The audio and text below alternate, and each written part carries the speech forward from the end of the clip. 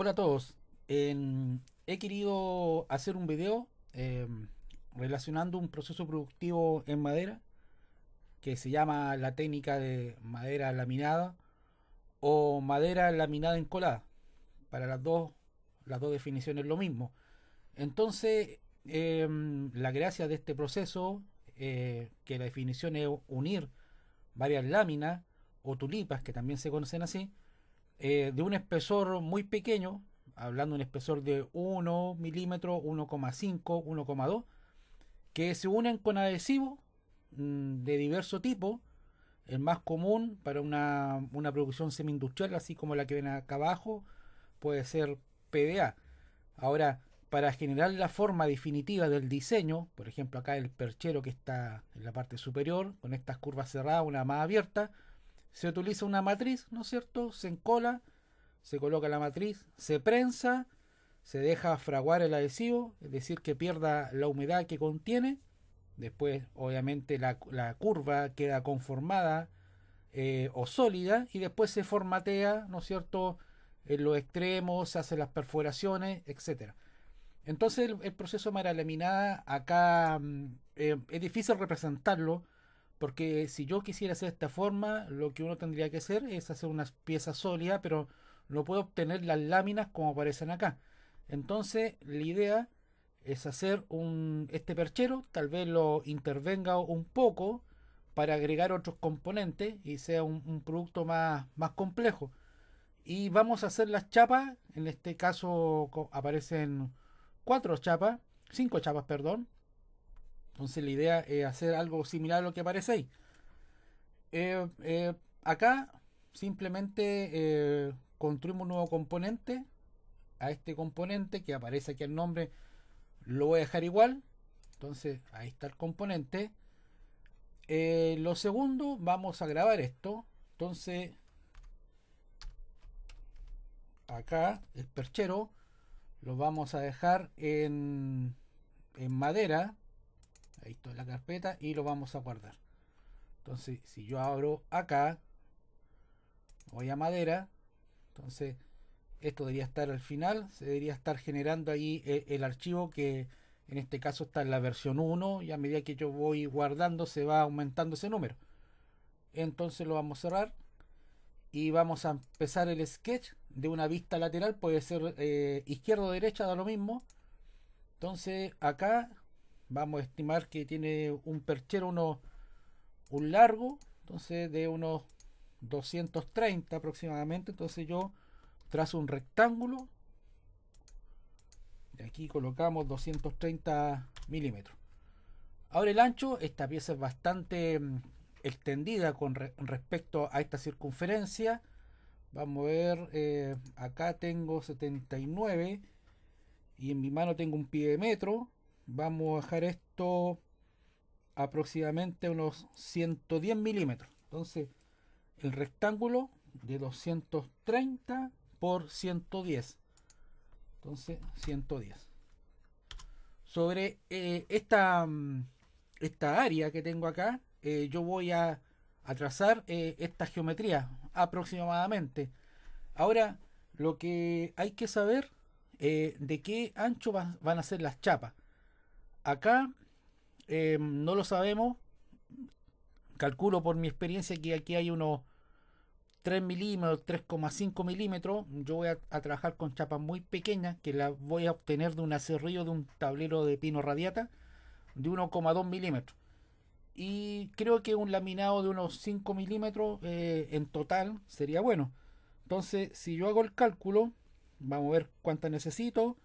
1,2 por 5 obtendría un laminado de 6 milímetros que sería un micro laminado. Entonces voy a hacer chapas de 1,2 milímetros de espesor, pero para eso tengo que trazar el, el perfil total, o sea, este perfil que estoy marcando acá de la pieza. Entonces tengo este rectángulo como, como un sketch base para poder insertar la figura. Eh, acá lo que podríamos hacer, eh, vamos a ver, trazar una, una línea central a modo de ayuda. Aquí obviamente se ven dos áreas que se dividen porque al momento estar cerrado el sketch ya se podría extruir. basta que yo, por ejemplo, eh, hago un barrido y esta la, la, determine como constructiva. Se fijan ahora si yo paso el, el, cursor o el puntero, ya no son eh, áreas que se podrían extruir. Entonces acá voy a mm, trazar, yo creo que en esta altura, no sé, e, esta, esta circunferencia, si yo la trazo ahí, eh, quedaría tal vez demasiado ancho porque son 110 milímetros. Entonces lo vamos a trazar, voy a hacer otra marca. Vamos a ver si podría ser, ahí me equivoqué. Hice un control Z, eh, también fue un error. Entonces vamos a, volver a trazar y aquí en la parte central voy a lanzar ahí una línea en formato vertical. Ahora vamos a hacer una circunferencia ¿no es cierto? la voy a dejar ahí. Esta circunferencia tiene que ser tangente a la parte de aquí abajo. Entonces lo marco y aquí es tangente. Entonces a ver si ahí se coloca tangente. Perfecto tengo eso, vamos a trazar eh, una línea acá. Esta que está acá, que está molestando, la podremos suprimir. Entonces aquí siempre es, importante cuanto el trazo, eh, dejarlo en un número entero, 160 por ejemplo. Y acá tiene esta, esta lengua hacia acá, pero yo la quiero dejar una parte recta aquí. Entonces tendríamos que hacer esto. Vamos a ver. Vamos a trazar esta línea eh, en formato horizontal. Letra D para acotar. Entonces vamos a hacer esto. Aquí hay 90. Vamos a bajar a 60. A ver qué pasa. Ahí se fijan, hay un error. Se corre esto. Lo cual no está bien. Vamos a ver qué está pasando. Tal vez esta línea. Esta línea que está acá, perdón. Esta central la vamos a suprimir. Esta también la vamos a suprimir. Y esta vamos a dejarla eh, eh, fija. Entonces vamos a ver si funciona a veces no sé por qué fusión de repente uno fija la eh, línea, un círculo, un elipse, un slot, igual se mueve. Pero vamos a ver si ahora pasa lo mismo. Ahí me dice que no se puede porque acá está supeditada esta línea verde, entonces ya empezamos mal. Pero siempre hay una solución para esto. Uno podría trabajar acá y fíjense en la parte, ¿no es cierto?, superior con tabular yo puedo cambiar ahí, el grado, ¿se fijan? Eh, creo que calculando más o menos una cosa, unos 145 grados o 150 grados para poder obtener una, una lengua así. Creo que unos 155 en la parte superior. Ahí tengo eso y lo después voy a rematar acá y lo voy a dejar un poco más extendido a 130 perfecto. Ahora las líneas que están acá segmentadas ya eso lo podemos eliminar fácilmente. Acá igual letra T de cortar. Vamos a eliminar eso. Eh, aquí me equivoqué. Claro aquí aquí tengo que eliminar hasta acá. Entonces L rematamos acá. L nuevamente hacia arriba de ese punto, yo creo que puede ser a, 60 o 50. Ahora, eh, en este dibujo la matriz es bastante sencilla. Aquí la matriz es bastante cerrada. Se puede lograr con una matriz compuesta, pero eso ya es, un tema productivo eh, que se puede hacer. Se puede hacer. Entonces ya rematamos eso. Rematamos esto. Aquí queda un, extremo. Entonces de repente hay que fijarse bien en esos detalles. Eh, esto acá también. Bueno, esas cuotas da lo mismo. Acá tenemos que obviamente hacer un fillet. Entre más, a ver, entre más extendido o, o radio mayor, más fácil es curvar la madera. Si por ejemplo yo tengo que hacer un radio muy pequeño, es complejo dependiendo el espesor de la madera. Pero en este caso eh, voy a jugar con unos 70, 70 mm, milímetros de radio ahí 70. Eh, esa línea que ustedes ven acá es la línea obviamente del ángulo de la cota. Y acá podríamos también cambiar esto. Vamos a hacer una cosa así a 50. Vamos a ver cómo lo da.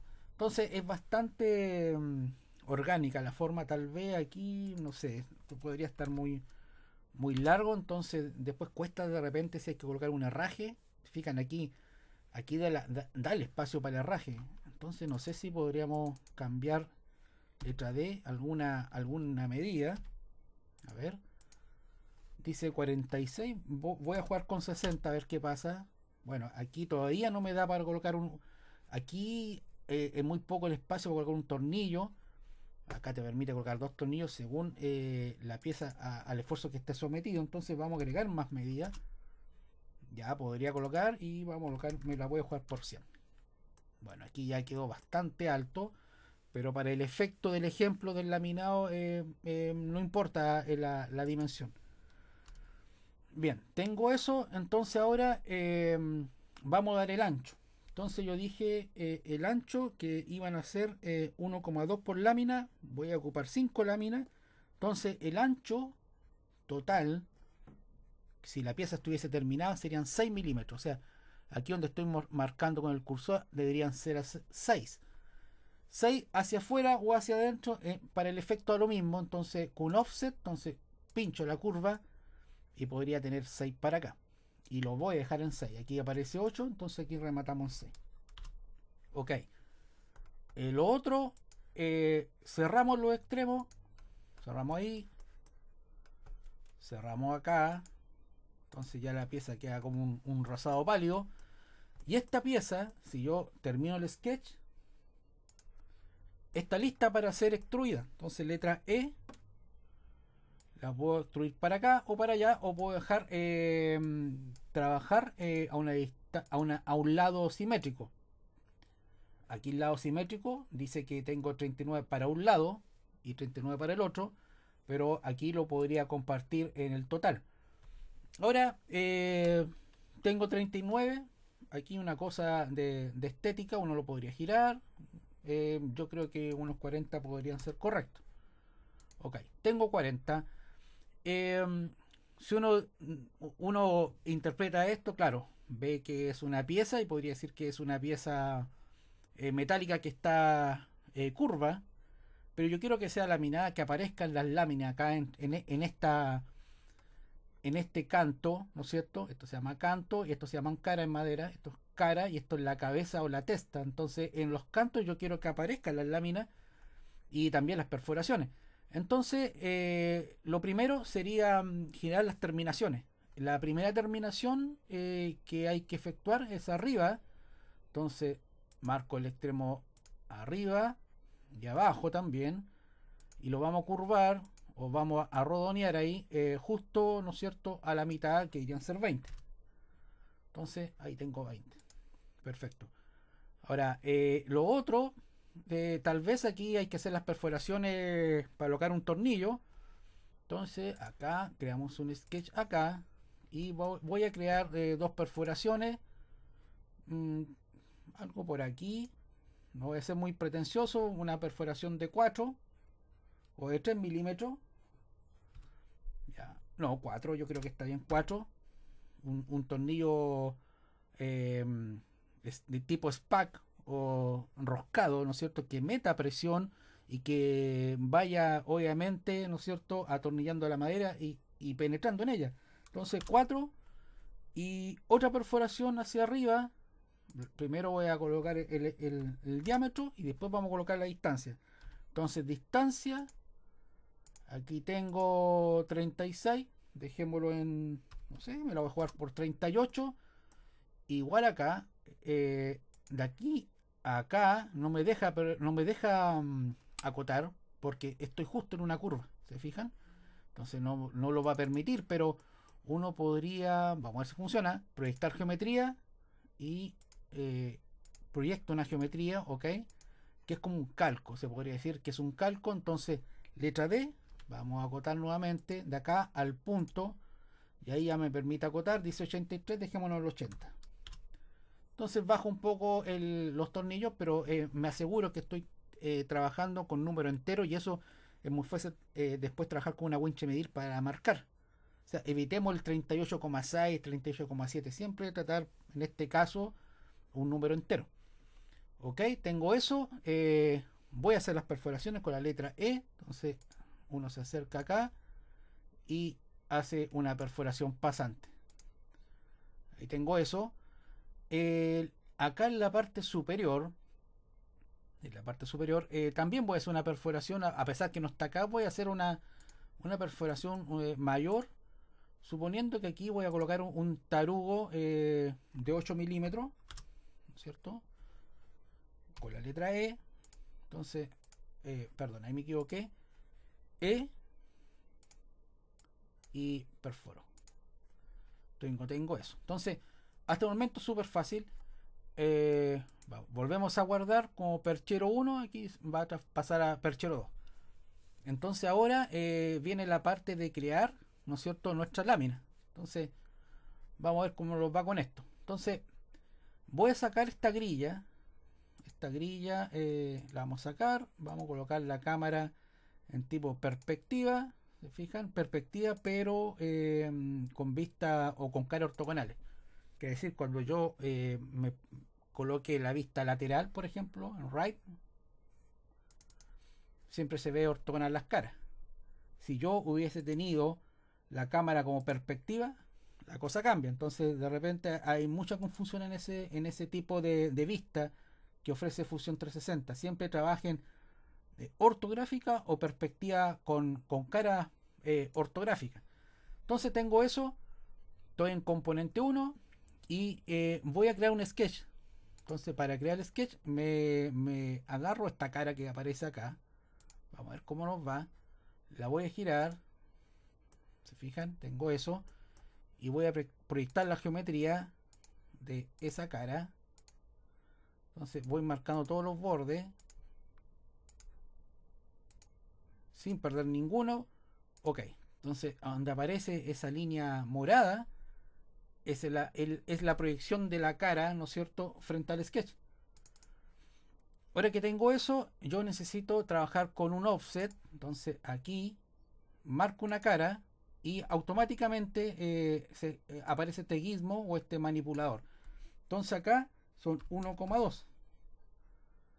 Ahí tendría eh, ese sketch. Ahora, voy a hacer un segundo sketch. Nuevamente un offset de aquí hacia acá, ¿no es cierto? Entonces, acá está sumando del extremo y aquí serían 1,4, 2,4, perdón, 2.4. Ok, ¿te fijan? 2.4. Entonces, la tercera línea eh, sería 1,2, eh, ¿no es cierto? Más 2.4 serían 3,6. Entonces, offset nuevamente de acá serían 3.6. ¿Se fijan? Y me faltaría la última, al 3.6 le sumo 1.2 y sería un 4,8. Entonces, de aquí y un 4.8. Entonces, acá está este cuerpo laminado que aparece sólido en fusión eh, va a tener una lámina, dos, tres, cuatro, cinco láminas. suficiente para esta pieza. Entonces, todas las líneas son paralelas. Eh, termino el sketch. Y ahí tendremos eso. Ahora, eh, cada línea que está ahí, esas cinco líneas, se van a proyectar sobre el cuerpo y los van a cortar. Entonces ya van a ser piezas independientes. Entonces, para eso me voy a modificar y trabajo con Split Body, que aparece acá, que lo tengo en acceso directo acá entonces, marco el cuerpo, marco la, línea de corte o la herramienta de corte. Entonces, marco la primera, puedo seguir marcando la segunda, la tercera, la cuarta. Ahí estaría. ¿Se fijan? Creo que no me falta ninguna línea de corte. Entonces ahora voy a ver una vista lateral. Claro, marqué las cuatro y genero un OK. Entonces, se ve eh, e, es, esa figura roja. Y esa figura roja es una, una, es una herramienta de corte que está entregando el split body. Y hacemos un OK. Acá, fíjense, se cortó, se cortó, ¿ok? Pero todas estas piezas, o todos esos cortes, eh, están en el componente 1. Si yo abro el componente 1, no se ven los cortes. Esos cortes están en, en el cuerpo del componente 1. Si yo lo abro, está va de 1, 2, 3, 4 y 5. Entonces, todos estos cuerpos, para que funcione esto, los selecciono cada uno, botón derecho, y los creo como componente desde el cuerpo. Entonces, y ahí, se fijan, están hechos componentes. Ahora, claro, se ven con los colores diferentes porque son componentes independientes. Y eso es bueno porque yo después en un, en un plano técnico podría marcar, por ejemplo, la longitud total de cada pieza, eh, podría saber cuánto mide a lo largo en una chapa, etcétera. Y también estéticamente en un plano cambia la cosa. Ahora, si yo apago el componente 1, se apaga todo. ¿Se fijan? Pero todos estos cuerpos están todavía eh, bajo el componente 1. Entonces, cada uno de ellos los voy a marcar y los voy a mover con el botón izquierdo del mouse sobre perchero 1. Entonces ahora, se fijan, cambian de posición. Esta figura, que si yo la elimino, se borra todo.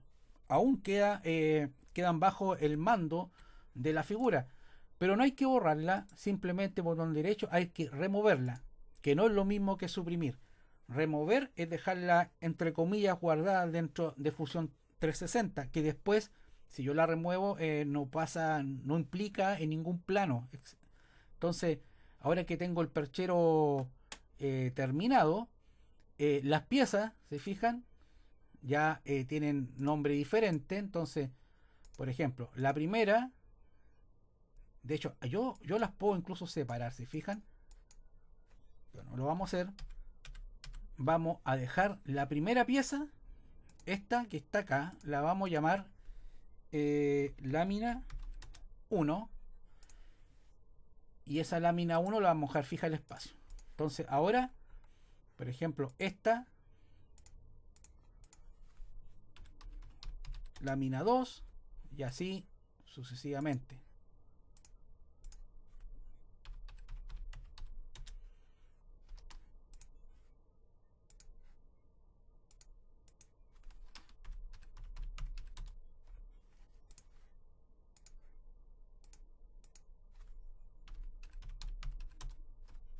Ok, ahí tengo mis cinco láminas. No importa el orden, acá da lo mismo el orden. Lo importante es que una esté fija el espacio. Esta está fija el espacio, todas las otras están móviles. O sea, si yo muevo esto, obviamente está móvil. Entonces, ¿qué es lo que hace uno? Ejemplo, eh, ocupo as join. Entonces, tipo rígido. Entonces, marco la segunda con la primera eh, rígido. Nuevamente el, el comando está con la segunda y así eh, sucesivamente. Esto, ¿se fijan? al final tengo la, la azul con la verde. Entonces, todo esto ya está ensamblado. Ya, mira, ahí, ahí me quedó suelta esta. Control Z, no lo hice bien. Entonces, de nuevo, vamos a ver si la puedo agarrar esta con la primera. A ver. Ahí sí. Perfecto. Aquí tendría mi laminado. Ahora Claro, eh, en el laminado aquí aparece, pareciese que fuese una especie arbórea solamente, en cambio acá aparecen de color. En el laminado yo podría combinar diferentes especies eh, y lo vamos a hacer acá. Entonces letra A eh, de apariencia, al momento aparecer apariencia desaparece el color cíclico. Este es el color cíclico que determina diferentes colores asociados a, a los procesos o a los componentes. ¿Se fijan? El color es asociado a la pieza, obviamente. Pero al momento de desactivar queda en color eh, gris y eso también depende de las preferencias del usuario. Si yo al momento empezar a diseñar digo que esta pieza es plástica o metal o vidrio, etcétera, por eso es el color. Ahora lo vamos a mm, madera sólida, vamos a ver qué pasa acá. Eh, mm, voy a tratar de trabajar con dos tipos de especies arbórea.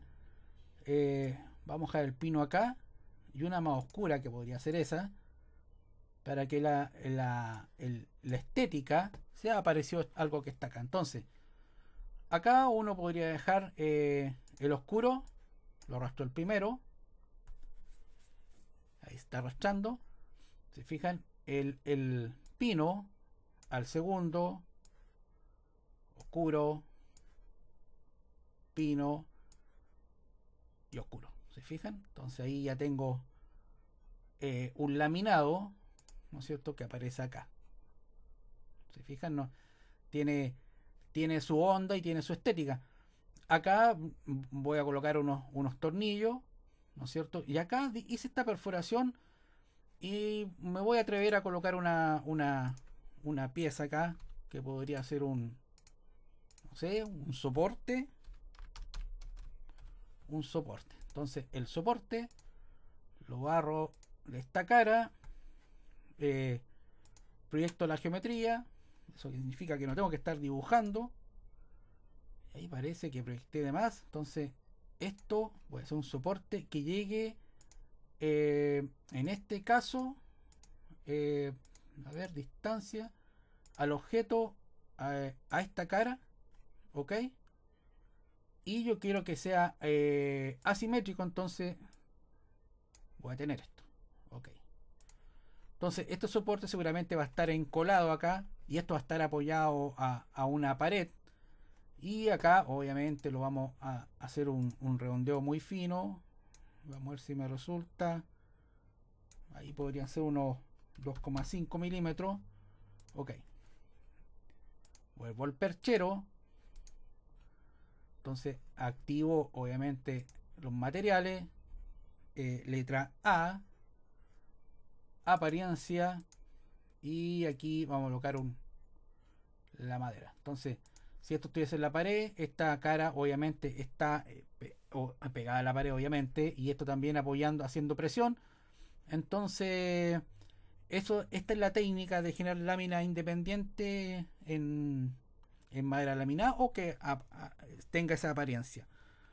Bueno eso sería todo por hoy. Le doy gracias. Eh, para terminar y me despido de aquí antemano voy a dejar hacer un render bastante básico. Vamos esto lo voy a abrir acá al máximo. Ahí tengo mi posición de render. Lo vamos a dejar algo así. No voy a pretender mucho con él. Así que ahí y eso sería todo y ahí se va el render gracias por su atención. Los vemos en una próxima.